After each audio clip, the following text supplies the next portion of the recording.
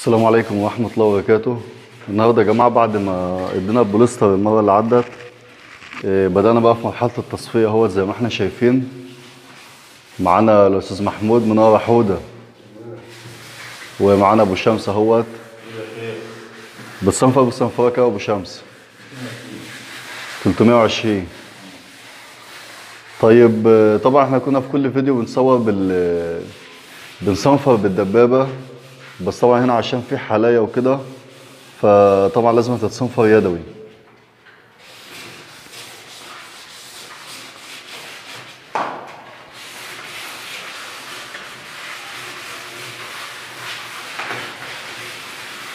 إحنا على فكرة يا جماعة ما اداناش آه، sealer خالص.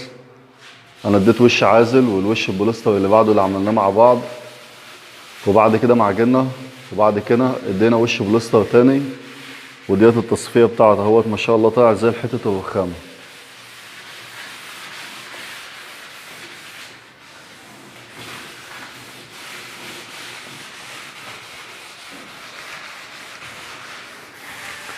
هات يا شمس.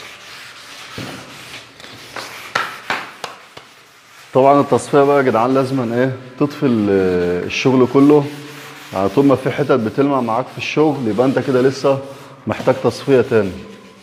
تمام؟ فلازم أنت تنك تدعكها لحد ما تلاقي ال- اللمعة بتاعت البوليستر ديت انطفت خالص. وطبعا الكلام ده مش هتعمله لما تكون أنت عامل طبقة بوليستر كويسة أو لحمية كويسة تستحمل معاك الكلام ده. إحنا قلنا طبعا نسبة التخفيف بتاعته 25% والفونيا 2.5 عشان خاطر تقدر تطلع معاك البوليستر الشحم كده فتقدر إن أنت إيه تعمل اللحمية اللي تستحمل إن أنت تدعك فيها زي ما أنت شايف كده. عشان الناس اللي بتحط مثلا تنر 100% على بيحطوا قد الجالون في ناس يقول لك أنا بفضي الجالون واقوم ليه تنر فكده هو ما حطش بوليستر أصلا. ويرجع بعد كده يجي في الآخر يقول لك إيه وأنا بصبغ أبص ألاقي البوليستر بيفوش معايا. طب إيه اللي يخليه يفوش؟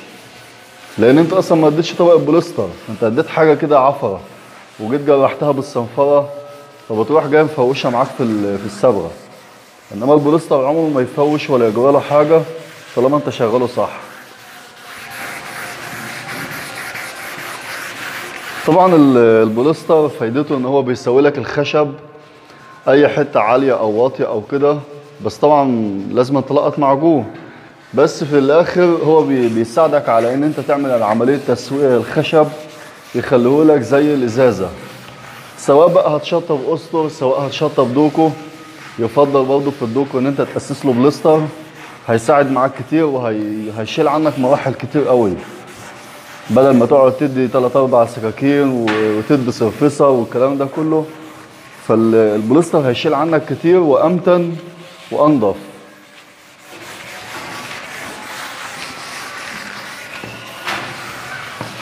زي ما إحنا شايفين كده أهوت الرجالة بتطفي الشغل كله. لحد ما الباب يبيض كله خالص. أي حتة خشب عموما يعني سواء آه، أبواب سواء آه، موبيليا. والحلق برضه بتاعه نفس الحكاية. وقلنا البوليستر اللي إحنا رشيناه 2200 Kapci. وقلنا التنر بتاعه. التنر على فكرة يا جماعة ممتاز جدا جدا. أنا أول مرة إن أنا أجربه. بس الصراحة عمل معايا نتيجة جميلة جدا. إحنا رشينا امبارح اهوه وبنصفي فيه النهارده. ما فيهوش أي مشاكل. ولا في تخريز ولا في تجيير ولا في ولا بيجلد معاك في الصنفرة ولا أي حاجة. برضه في ناس بتسأل على ال 320 من عارف. من عارف. برضه في ناس بتسأل آه، إمتى يصفي؟ المفروض التصفية بعد 24 ساعة. بس في الصيف اللي إحنا فيه ده ممكن مثلا في خلال 20 ساعة انت كده كده هتوش وهتسيبه لتاني يوم. هنيجي في الشتاء في أوقات في الشتاء مثلا شهر 12 وشهر واحد هتضطر إن انت تسيب الشغل مش أقل من 72 ساعة. واخد بالك؟ وطبعا برضو بيرجع على العامل الأساسي المذيب اللي انت هتشتغل بيه. علشان كده الشركة عملت التونر ده إن هو يفاديك من المشاكل دي. بس أنت عامة في الشتاء سيبه يومين أو ثلاثة يكون أفضل يعني عشان خاطر ما يجلدش معاك أو يجرح أو كده. التصفية زي ما إحنا قلنا إحنا بنصفي بصنفرة 320 أو 220 الاتنين شغالين. وممكن تعمل بال 220 وترجع تنعم ب 320 أو تشتغل ب 180 وتنعم ب 220 عادي. مفيش مشكلة. المهم إن في الآخر الصنفرة اللي هتفنش بيها تكون ناعمة وكويسة. تمام؟ سلك المواعين بقى والكلام ده كله أنا ما بفضلوش. أنت في الآخر هتنضف تنظيفة كويسة بالهواء وبعد كده آه إن كنت هتدي اسطوبة سيلر الاسطوبة بتلم معاك العفرة كلها.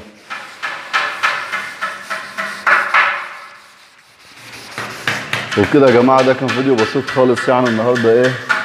قلنا إن نوري لكم المراحل بتاعة التصفية مع بعض. زي ما ورينا لكم البوليستر في الحلقة اللي عدت وإن شاء الله الصبغة اللي هي من أهم ال- الحاجات اللي الناس بتسأل عليها دايما. هنحاول نعمل برضه فيديو للصبغة لأن ناس كتير بتبقى إيه متخوفة من حتة الصبغة ديت إن الشغل ساعات بيغمق وياهم وبيقفل. ممكن الباب يبقى حلو قوي في التأسيس ويجي في الصبغة يبوظ منك أو يحصل فيه مشاكل. فإن شاء الله هنعمل فيديو آه، نحاول نظبطه على قد ما نقدر إن آه، إن إحنا نظبط موضوع الصبغة دي. موضوع سهل جدا وبسيط بس لازم تشغل دماغك فيه شوية وبرضه لازم يكون فيه مسدس خاص بالصبغة مش أي مسدس تصبغ بيه عشان تقدر تتحكم في في الصبغة اللي أنت شغال بيها عشان ما يغمقش منك أو كده. طيب البوليستر برضه فيه ميزة تانية.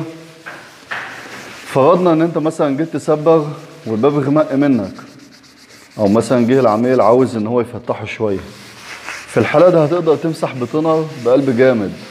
طالما في طبقه بوليستر هتقدر تمسح الصبغه كلها لحد طبقة البوليستر أما لو أنت ما أنتش مد بوليستر وجيت غمقت وجه مثلا العميل قال لك أنا عايزه فاتح في الحالة دي مش هتقدر تحل الموضوع.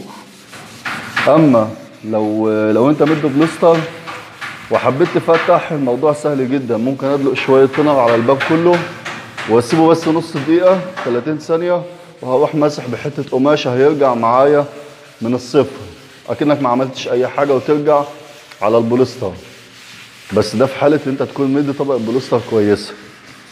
يعني لو طبقة خفيفة برضه مش هينفع الكلام ده فيها وممكن تفوش معاك. فأنت طبعا لازم تطبقه صح عشان خاطر يريحك قدام. حبيت تشيل اللون خالص. فرضنا مثلا انت بعد ما عملته مثلا zero سبعة جه الزبون قال لك لا أنا عايزه مثلا حمر. يعني عايزه مثلا محمر شوية. عاوزه درجة لون مختلفة عن اللي انت عملتها. في الحالة دي طبعا صناعية كتير بتقف يقول لك إحنا كده خلاص إحنا وقفنا. طب أنا هعمل إيه؟ ده كارثة ده مشكلة. لأ لو أنت مده بوليستر برضه الموضوع بسيط جدا. هتقوم حاطط التنر وهتمسح الشغل وترجع من الصفر تاني وتبدأ من أول وجديد من أول وجديد من بعد البوليستر مش من على اللحم يعني.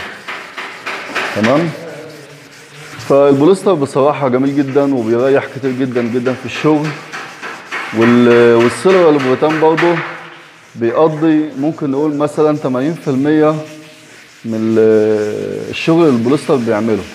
بس عمره ما هيعمل معاك لحمية ولا هيعمل معاك آه، طبقة زي البوليستر. لكن في الشغل السريع أو المستعجل أو على حسب الحتة الخشب اللي معاك ممكن البروتان برضه يبقى شغال حلو. لكن أنا بفضل ال- البوليستر بيعمل معاك لحمية كويسة و... وبيظبط معاك الشغل.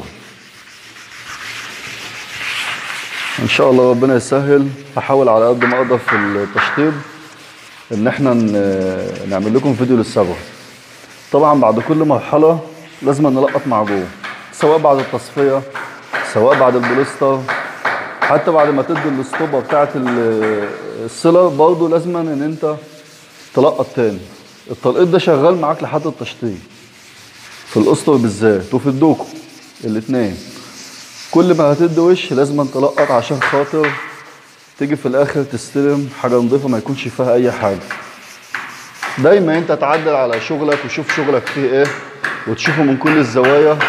عشان لو في حتة مش باينة معاك ممكن تحط حتة الخشب مثلا في ضي أو في حاجة يكون النور ضارب فيها وتبص عليها من كل الزوايا عشان خاطر لو في حتة فايتة تظهر معاك.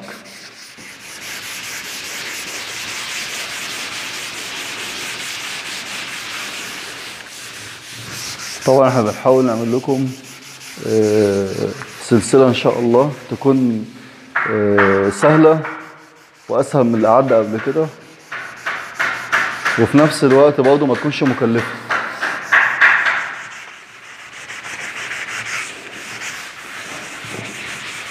بس طبعا يا جماعة في ناس يقول لك أنا لسه هقعد أعمل ده كله. أنا ممكن أدي وشه بلوستر وألقط ادي وشه وارمش على طول. ومفيش حد بيقدر ومفيش حد بيعمل. الناس اللي زي ديت يعني يستحسن ما تتفرجش على الفيديو أصلا.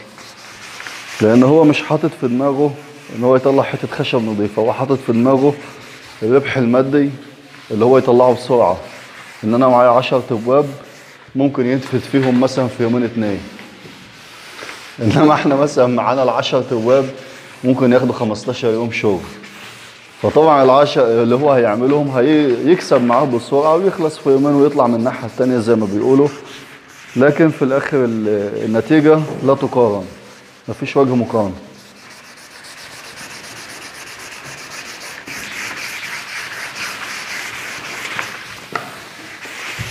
زي ما إحنا شايفين كده الشغل انطفى كله اهوت. برضه لما بتطفي الشغل كله كده بيظهر معاك الحتت اللي هي هتحتاج تلقيط تاني أو هتحتاج معجون تاني. وطبعا المعجونة لازم تكون مخاوية للون البطانة اللي انت عاملها. أو للون الخشب. الخشب ده مش واخد بطانة بس هو الخشب بتاعه لونه غامق. يعتبر برضه واخد بطانة بس بطانة طبيعية يعني. طبعا البوليستر برضه في شغل الحلاية والقيمة هو اللي بيسد بصراحة. يعني شغل الكعبلة والحاجات اللي هنا ديت هو البوليستر اللي بيجيب معاها من الآخر. ولا أبو شمس. طبعا. أبو شمس طبعا آه، برضه بيرحب بالناس تحب تقول للناس يا أبو شمس؟ أنت مبسوط معانا أهم حاجة؟ طبعا. أبو شمس يا جدعان مبسوط معانا أهوت و... وبيقول لكم يعني حبيب أبو شمس ربنا يعزك الله يخليك. الله ي... الله يبارك لك أبو شمس ربنا يعزك.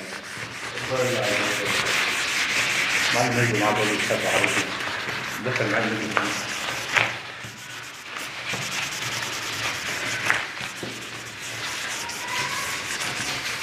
طبعا بعد ما بنشتغل كده يا جدعان بتنفخ الشغل ده كله.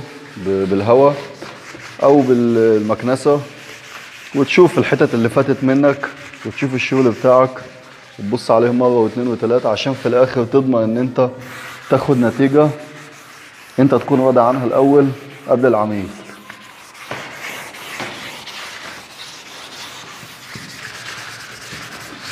الخشب يا جدعان آه، هو غية ولازم تكون حبه عشان خاطر تقدر إن أنت تطلع حتة خشبه نظيفة. الموضوع مش موضوع شغل وخلاص. لو موضوع شغل وخلاص ومكسب وكده عمرك ما هتعمل فيها الكلام ده كله ولا عمرك هتتعب التعب ده. بس أنت تعمل حتة خشب لو عدى عليها الزمن وجيت شفتها تاني أنت تبقى مبسوط منها. لأن أنت تعبت فيها. وإن شاء الله ربنا ما, ما يضيعش تعبك فيها يعني.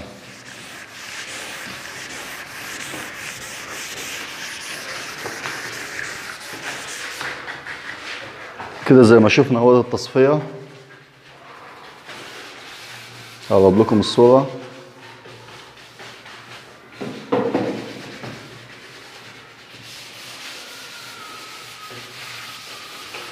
زي ما إحنا شايفين كده أهوت. نضف هنا كده أبو شمس.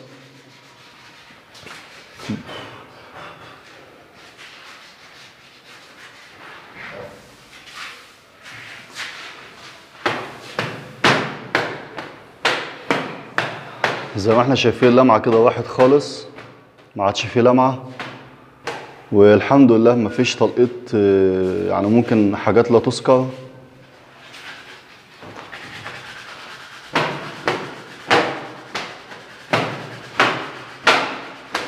لأن إحنا طبعا لقطناه قبل كده كذا مرة.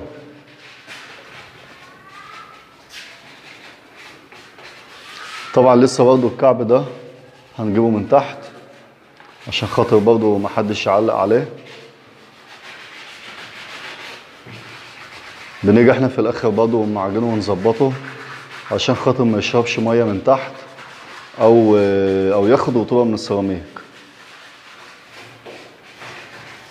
الله ينور شمس